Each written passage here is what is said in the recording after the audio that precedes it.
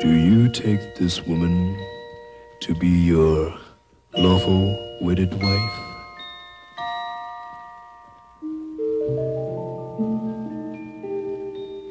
I